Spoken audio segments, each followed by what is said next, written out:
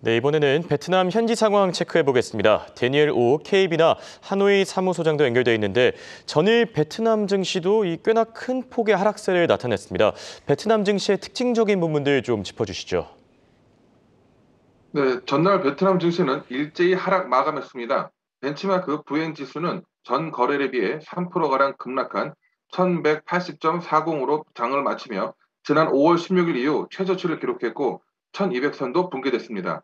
부행지수는 지난 금요일에 19포인트 아, 하락 마감한 후 이날도 37포인트가량 급락하는 등 약세장을 좀처럼 나오지 못하고 있는데요. 베트남 경제 매체들과 증권사 애널리스트들은 지난주 내내 흐르던 부정적인 움직임은 이날도 경기 침체와 인플레에 대한 우려, 그리고 미 연방의 금리 인상 등 국제 거시적 요인이 작용해 베트남 증시에 악재로 작용했다고 진단하고 있습니다.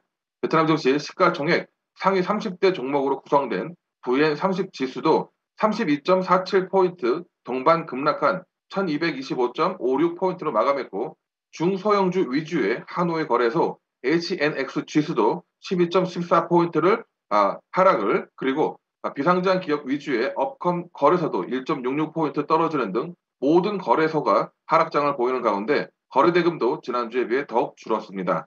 이날 거래대금은 전 거래일에 비해 11%가량 줄어든 15조 4,400억 동, 한화로는 약 8,600억 원 가량으로 여전히 20조 동 아래로 머물렀고 외국인 투자자들은 하나로 약 300억 원인 6천억 동 순, 도, 아, 순매도를 기록하며 이날 거래를 모두 마쳤습니다.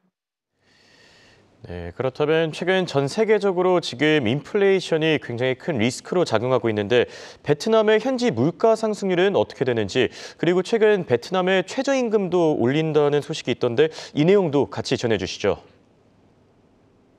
네, 전 세계적인 인플레 현상에 베트남 정부도 이를 대비하는 사회 경제적 준비에 박차를 가하고 있습니다.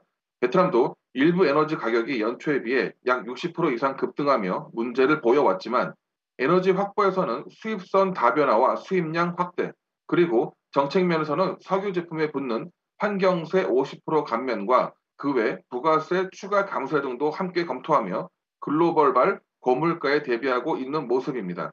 또한 에너지 안보 보장을 위해 국가 석유 비축률을 현재 최대 7일치에서 오는 2025년까지 4배 수준인 약 한 달치로 확충하는 방안을 추진하고 있는 등 에너지 가격 급등으로 인한 전체 물가 상승 억제에 상당한 노력을 기울이고 있는데요. 이를 두고 국내외 경제 전문가들은 베트남 정부에 대해 매우 긍정적인 평가를 내리고 있습니다. 이런 가운데 홍콩 상하이은행 즉 HSBC가 올해 베트남의 인플레이션 전망치를 지난 4월 3.7%에서 3.5%로 하향 조정했습니다. HSBC 글로벌 리서치는 최근 내놓은 세계 국가들 주요 인플레이션 평가 보고서에서 올해 급박한 경제적 불확실 성에도 베트남의 물가는 아세안 대부분의 국가들에 비해 안정적으로 보인다고 평가했습니다. 베트남 정부가 에너지 부문 관리에 이어 식량 부문에도 전 세계 쌀 수출 2위 국가인 만큼 국내 식량 가격 급등을 상대적으로 잘 막아내고 있다는 것입니다. 물론 그 외 다른 곡물 가격 상승으로 어, 영향으로 식용유 등 연관 식품 가격이 오르고 있어 더욱 집중적인 관리도 요구된다고 조언했습니다. 또한 베트남의 경우 지난달 제주업 PMI가 8연속 8개월 연속 50 이상을 기록하며 완연한 경기 회복을 이어가고 있는 점과 2년여 만에 국경 재개방으로 외국인 관광객 확대와 노동시장의 고용 상황 이 크게 개선돼 가고 있는 것도 긍정적인 요인으로 보고 전망치를 조정해 내놓은 것이라고 풀이됩니다. 하나 더 있습니다. 당초 많은 기업들이 적용 시점을 내년 1월 1일까지 늦추도록 제한하기로 했던 최저임금이 다음 달 1일부로 6% 오릅니다.